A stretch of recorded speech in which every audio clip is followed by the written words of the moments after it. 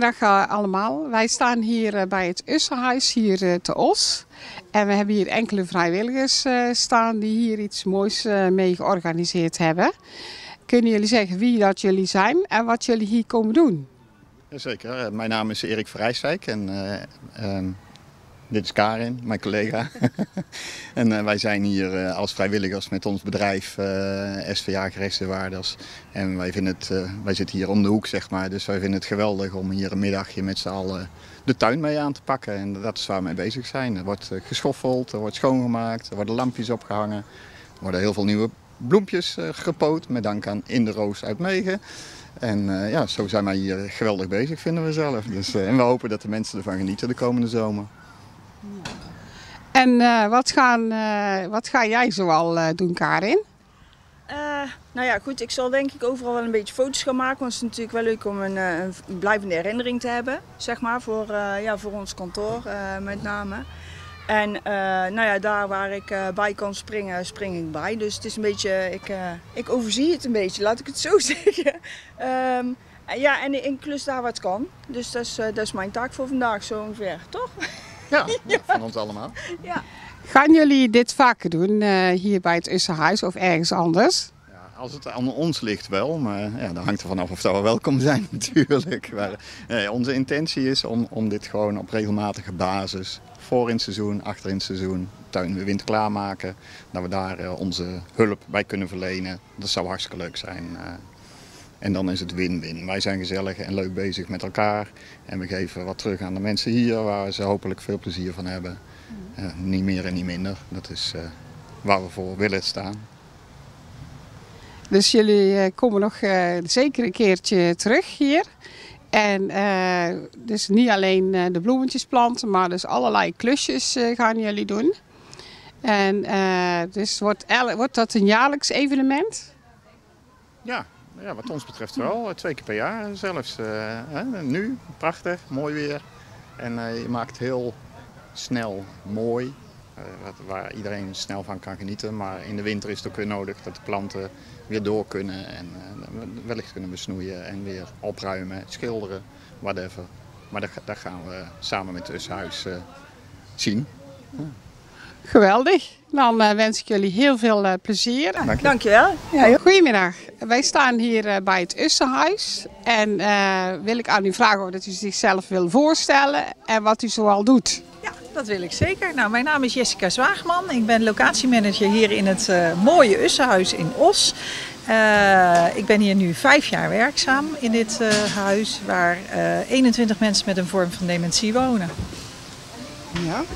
En uh, hoe bent u hier gekomen dat het uh, zo mooi is hier?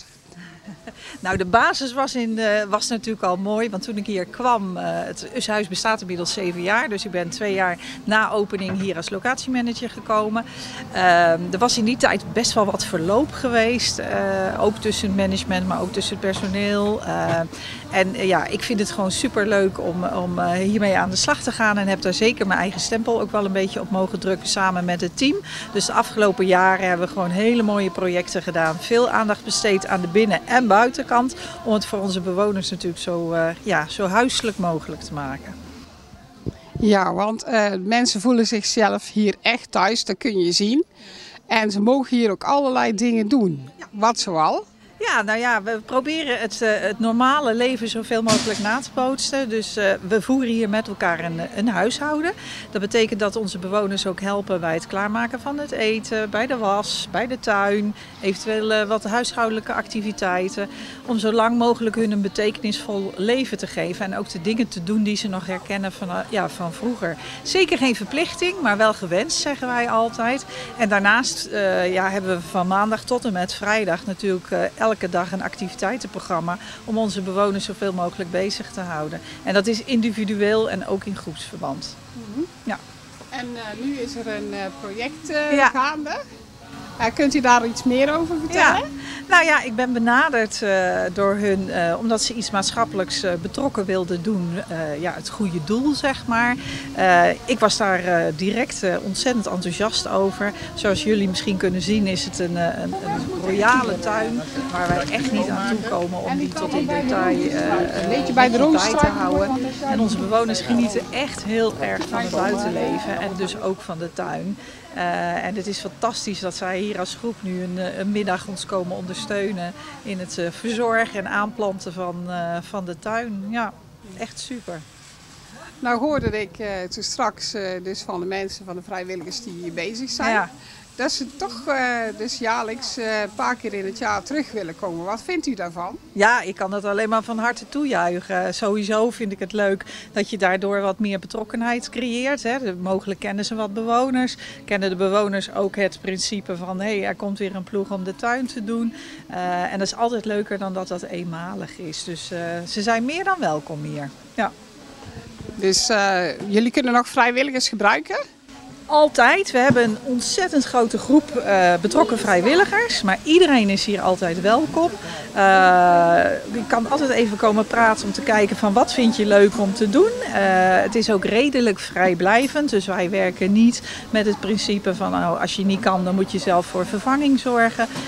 we zijn hier 365 dagen per jaar, 24 uur, uur per dag. Dus je bent hier altijd welkom. Nou. Uh, dit uh, mooie huis maakt er ergens onderdeel van uit? Jazeker, dat maakt uit van uh, Dagelijks Leven. En Dagelijks Leven is een betrekkelijk jonge organisatie die ooit vanuit een ideaalbeeld eigenlijk met één huis in Hengelo is begonnen. Nou, dat was vanaf dag één een doorslaand succes. En inmiddels staat de teller op 85 huizen in Nederland. Ja, verspreid door heel Nederland. En er komen er elk jaar zo'n 10 tot 15 bij.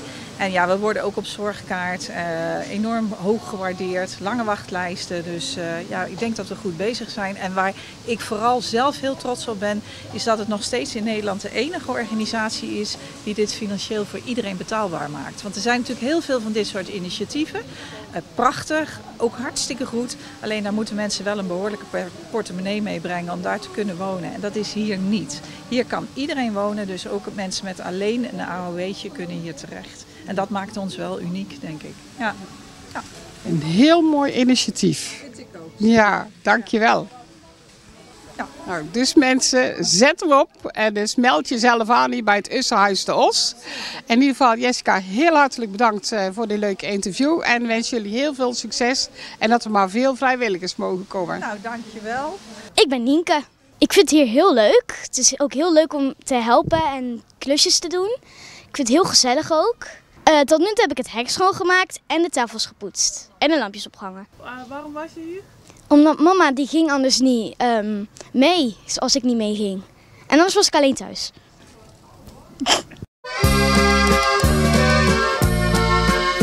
De ooievaar kwam aangevlogen. Mijn moeder keek angstig omhoog. Ze was bezig kopjes aan het drogen toen hij bij ons binnenvloog. Mijn hij was een stijzeldier.